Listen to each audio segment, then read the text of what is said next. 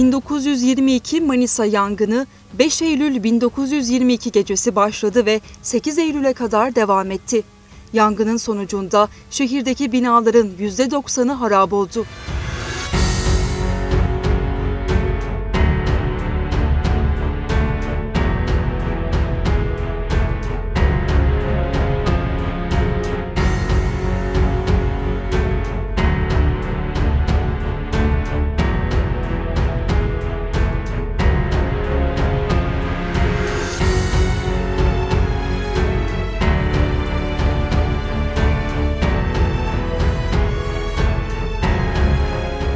Türk-Yunan Savaşı sırasında meydana gelen olaylarda yangın Türk ordusu önünde geri çekilen Yunan askerleri tarafından başlatıldı. Türk ordusunun Ağustos 1922 tarihinde başlayan saldırıları karşısında Yunan orduları İzmir ve Ege kıyılarına doğru çekildiler. Geri çekilme sırasında kasaba ve köyleri yakıp yol boyunca Türk halkına zulüm uyguladılar.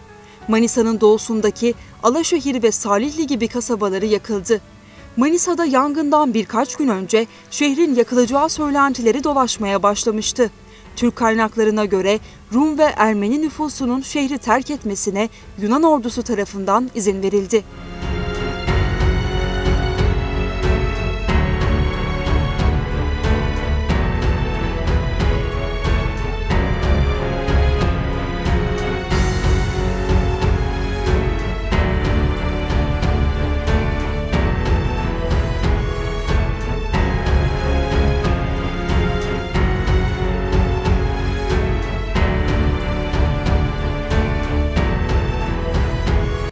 Şehrin yakılması Yunan ordusu tarafından itinayla organize edilmiş ve yangınlar özel organizeli gruplar tarafından birden fazla yerde başlatılmıştı. 5 Eylül Salı gecesi ve 6 Eylül sabahı yangınlar Çarşı Mahallesi'nde ve başka birçok yerde başlamıştı.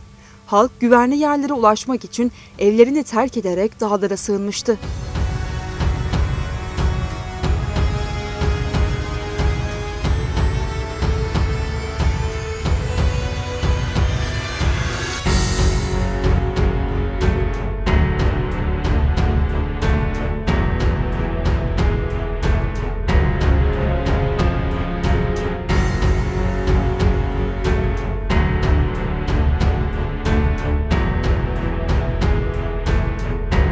Kaos sırasında yananların yanı sıra düşman askerleri tarafından öldürülenler de oldu. Bu arada Türk ordusu hızla ilerlemeye devam etti ve Yunan birlikleriyle çatıştıktan sonra 8 Eylül'de şehrin kalıntıları üzerinde kontrolü ele aldı ve 8 Eylül'de Manisa'nın kurtuluşu ilan edildi.